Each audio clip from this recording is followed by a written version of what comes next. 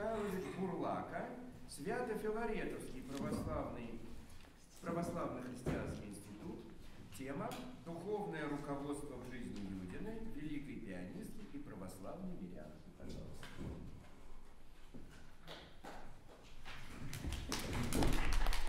Досточтимые отцы, а, уважаемые члены конференции, участники, а, гости. Мне очень приятно здесь выступать, потому что я последний раз в этом зале присутствовал качестве оркестранта. Я закончил Московскую консерваторию, а потом вот связал свою жизнь с богословием, с церковной историей. Поэтому очень приятно. Э, я э, расскажу о, э, собственно, очень известном человеке, которого все э, знают и знают э, Марию Вениаминну Юдину как э, музыканта, исполнителя, педагога. Э, менее известна ее церковная судьба, ее знакомство, э, ее дружба и связи с э, очень многими выдающимися служителями церкви, мучениками, мучениками, исповедниками российскими. И, конечно, она человек удивительный, потому что когда выходила на сцену, и перед тем, как исполнить Баха, она читала Евангелие, или в годы травли Пастернака выходила и читала стихи Пастернака, это вызывало э, уважение, восторг э, на ее концерты. Вот я беседовал с людьми, которые были свидетелями этого, ходили как на акции протеста против того, что происходит в стране. А надо сказать, что это 30-е, 40-е, 50-е годы, самые страшные и для музыкантов в том числе. И вот вопрос, откуда такой человек появился? А, мы и по музыкантам знаем, что может родиться самородок, но если с ним не работают э, педагоги, учителя, то ничего не выйдет. Поэтому я хотел бы проследить вот этот опыт духовного руководства, духовничества, наставничества, который э, Мария Вениаминовна э, пронесла через всю жизнь. И обретение веры началось в Невеле, в городке, Псковская область сейчас, где она вместе с другими э, молодыми людьми э, и немолодыми людьми, будучи еще совсем юной, э, она читала философов, она общалась с Бахтиным, Пумпянским и целым рядом философов. А это ну, девушка юная совсем, если почитать ее дневники, можно просто изумиться тому, какие мысли в 16 лет приходят молодому человеку. А, и тем не менее она ищет опоры, она ищет общения. А, и эм, Бахтин с небольшим кругом собеседников, они дискутируют, прогуливаясь по окрестностям Невеля, увлеченные нравственной философией, излагаемой Бахтиным. А, они даже э, назвали безымянное озеро в окрестностях Невеля озером нравственной реальности. И эм, Э, то есть здесь уже очень многое формируется у нее, хотя еще не напрямую христианское, э, да, вот э, в ее биографии. Но под влиянием эм, эм, Теличеева, это музыкант, тоже удивительный человек, ставший крестной впоследствии. Эм, Теличеева провела далее 19 лет в лагерях и она помогла ей, собственно, вот подойти к крещению в 1919 году. А, она начинает ходить в храм Спаса на водах Марии Вениаминовны Юдина, а, настоятелем которого был протерей Владимир Рыбаков. Он знал семь языков, серьезно занимался богословием. А, в течение нескольких лет после революции отец Владимир писал свой главный труд «Святой Иосиф, песнописец и его э, песнотворческая деятельность» сопровожденные колоссальным научным аппаратом. Паства э, протерея Владимира была обширной, люди самые разные по возрасту, сфере деятельности, интересам, социальному статусу. Но в письмах Юдиной не сохранилось упоминаний о характере духовного руководства отца Владимира. Главное известно, что а, она, он не смог удовлетворить э, потребности в строгом духовнике и наставнике. А, а именно такого руководства искала в эти первые после воцерковления годы э, Мария Вениаминовна. Далее э, Затем Юдина вошла в Петроградский религиозно-философский кружок «Воскресенье», объединявший философов, ученых, представителей творческой интеллигенции с Священников в кружке до 25 года не было, разве в виде случайных гостей на одном или двух собраниях. Но это были не рядовые священники. Один из них, член Александра Невского братства, архимандрит Гурий Егоров. А, впоследствии, после открытия Духовной Академии, он стал первым ректором а, в Загорске. О встречах кружка в переписке в 60-е годы она, она вспоминала так. «Я была счастлива, что в меня крепко были вложены некие основы интеллектуального и этического бытия вообще. Я получила некие ключи к гуманитарному познанию вообще, необозримое поле мышления в целом, из коего могу черпать до гробовой доски. То были поистине цвет человечества, бескорыстие, трудолюбие, ответственность, активная доброта, сила мысли, и сколь многие из них погибли смертью. 2 декабря, это вот, кстати, на фотографии ее крестная, Телечеева, к сожалению, только лагерная фотография из документов следственных. 2 декабря 28 года из-за все большей концентрации внимания в дискуссиях и встречах на попытке соединить христианство с социализмом, Юдина вместе с супругами Бахтиными э, вышла из состава кружка. То же время Мария Вениаминовна регентовала в храме Воскресения Христова, то есть в Спасе Марии. С 1926 года она посещала высшие богословские курсы при Эстонской православной церкви где встретила преподававшего там протерея Федора Андреева.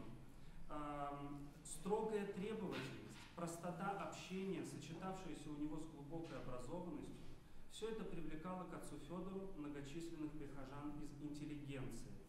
Дмитрий Сергеевич Лихачев вспоминал о нем так. Знаменитейший проповедник, на проповеди которого в Сергиевскую церковь стекалась вся интеллигенция Петрограда. Э, протерей Федор духовно окормлял Юдину вплоть до своей кончины в мае 1929 года, приглашая ее к себе домой на пасторские беседы. В 1965 году она вспоминала, руководство покойного отца Федора было поистине суровой школой. Был он замечательным проповедником и, имея семью, являлся человеком не от мира сего, и весь пронизан был эсхатологическими чаяниями. К Юдиной Федор относился с уважением, но позднее в семье он говорил, что она недокрещенная, имея в виду ее э, непрестанные поиски и независимость суждений. Этот момент я еще в заключение отмечу. А, в 1930 году Мария Вениаминовна совершила несколько поездок в Москву. В одной из таких поездок она познакомилась со священником Михаилом Шиком, который к тому времени вернулся из ссылки в Средней Азии. Отец Михаил служил в различных храмах в Москве, в том числе в храме святителя Николая в Клениках. А после того, как священник Владимир Амбарцумов э, принял попечение об общине храма святителя Николая у Соломенной сторожки, он стал служить там. Юдина приходила к нему, общалась с ним, приезжала к, э, после э, отца Михаила, она приезжала в ссылку к нему э, и беседовала с говорят, была переписка, к сожалению, не удалось пока найти. Очень интересно вопрос, о чем они переписывали, что это был за разговор пианистки и э, священника, который э, тоже в 1937 году был расстрелян. Э, ну и вот тоже э, фотографии из следственного дела.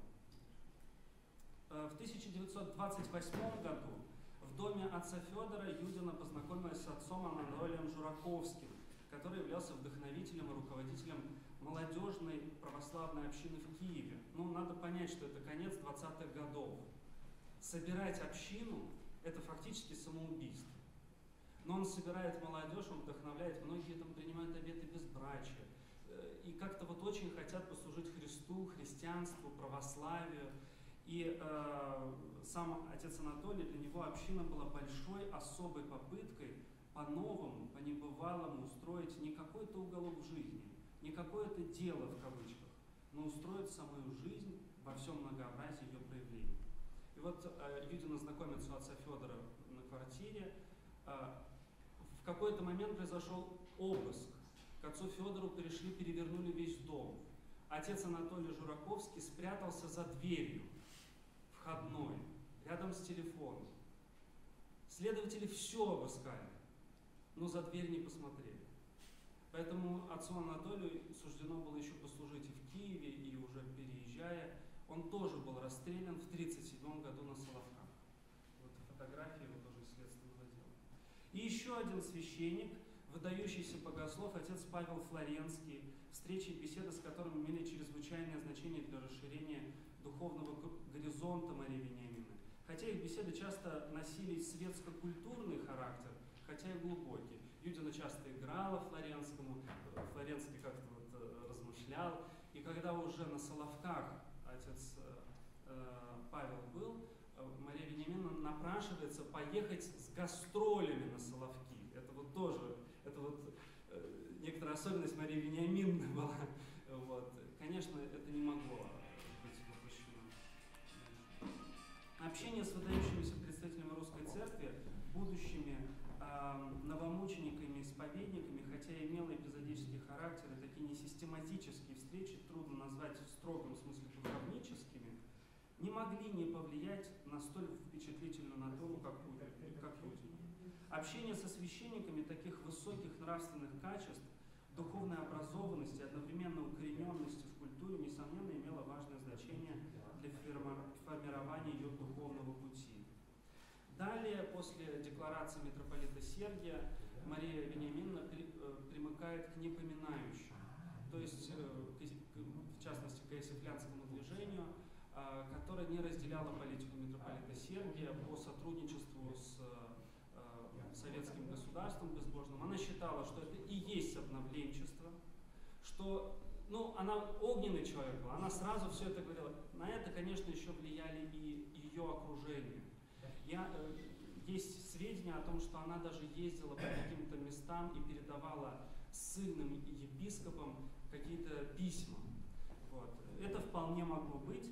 Эм, и вот, вот это время, 30-е, 40-е годы, Мария Вениамина ходит э, в разные храмы, ее замечают в храме Илья Обыденного, но она не причащается, она стоит вот в притворе, благочестиво молится, э, и эм, фактически в ее дневниках, точнее письмах, очень много э, упоминаний, что она ходит в храм, она ходит на службу, она после концерта бежит в храм, стоит на всеночной, хотя у нее и больные ноги уже, и здоровье не позволяет, но она молится.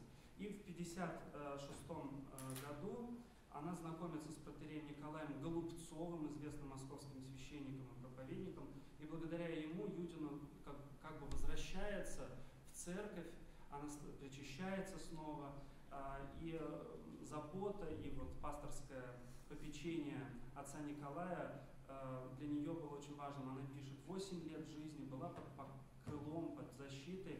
Э, все несчастья переносились с некой неизъяснимой облегченностью, или иногда даже вовсе отступали, исчезали как дым. 50-е, 60-е годы Мария Вениаминовна знакомится с епископом Антонием Сурожским, который приезжает из Англии э, к своим родственникам, Скрябиным, э, и Мария Вениамина узнала, где он живет, и к Ирине э, Сафраницкой, великого пианиста, она постучала в дверь, я э, общался с э, Сафраниной, она рассказывала, сейчас ей 98 лет, по-моему, это удивительная женщина, она говорит, открыла дверь, Юдина стоит.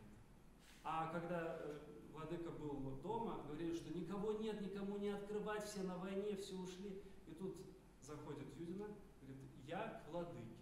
Говорит, никого нет. У нее был фирменный жест, она вот так отстраняет.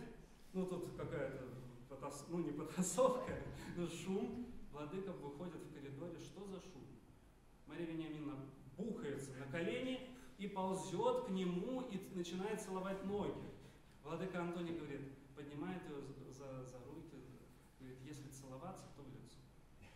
Вот. И Мария Вениамина не раз играла ему, Владыка хотел как-то отблагодарить, и э, узнал, что ей, у нее нет одежды, она ходит почти полураздетая, вот в каком-то легком пальто, он где-то в очередях выстояли, э, пальто он подарил. Мария Вениамина, я в письмах нашел, Владыка подарил мне пальто, оно такое прекрасное, оно такое теплое, оно такое легкое. В ломбарде отдали всего 10 рублей за него. Она отнесла в ломбард, чтобы эти деньги дать, вложить, помочь, прокормить кого-то. В следующий раз владыка был э, он оплатил э, остекление ее балконной двери, которая зимой даже э, там гулял ветер. Вот. Это тоже быт э, и жизнь э, бытовая Марии Вениамина, она, конечно, очень напоминала жизнь э, вот, э, такого юродства во Христе и свидетельства через это. А Мария Вениамина причащается у владыки, и вот сохранилась фотография, наверное, она уже была. А, а, в конце жизни Мария Вениамина все чаще думает о 60-е годы, это последние десятилетия, она практически не могла найти духовника себе, она ходила в разные храмы, она общалась с отцом Всеволодом Шпиллером, отцом Александром Менем. Это были разные очень интересные беседы, э, но духовничество, вот такой связи пасторской не получалось.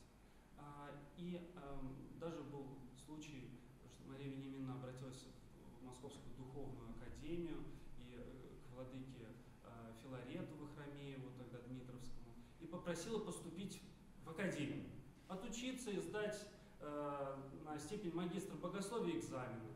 Ну, естественно, владыка сказал, что это невозможно. Вот. А приезжайте к нам и дайте концерты. Расскажите о вашем понимании Баха и Моцарта. И это будет вашим экзаменом на степень э, богослова.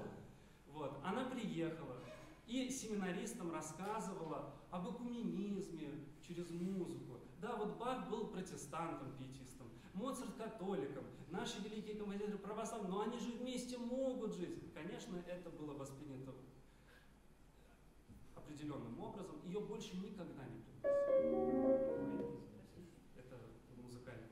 А, Ее не пригласили, она обижалась. В какой-то момент она в своей переписке написала, что меня приглашают, но может быть это потому, что церковь не свободна. Это, может быть, это спущенное это решение сверху. Но, о Боже, в каком рабстве наша церковь? И вот она тогда, она очень хорошо понимала, что э, церковь не свободна. Но она была внутренне свободна. И она искала таких священников и таких пастырей, которые обладали этой внутренней свободой. Э, в конце жизни она все больше думает о э, монашестве. Э, она пишет, ведь у меня поистине уже ничего нет, э, кроме неисчислимых крестов, со всеми родными, больными, бедными, с памятью умерших, с долгами, с полным разрушением минимума здоровья. Что же мне необходимо грешное? Тайное монашество, подготовка, благословение, руководство, руководство в духовном богопознании, чисто богословское руководство. И снова возникает жажда искать строгого, но теплого, не безразличного руководства, вероятно, именно монастырского. Епископ Леонид Поляков, латвийский, благословляет ее готовиться э, к монашеству. И фактически вот в последний год ее жизни она уже планировала переехать в Рижскую пустынь, где на то время служил э, архимандрит Таврион Батоский, тоже выдающийся исповедник веры, э, который ну, вот, очень многое сделал для церкви. Не, не получилось, э, она заболела э, на фоне диабета, воспалением легких, и в 70-м году э, умерла. Подведем итог. В целом Юдина была ориентирована на традиционный тип духовного руководства. Всю жизнь искала себе духовника, однако в ее жизни длительные духовнические отношения не складывались.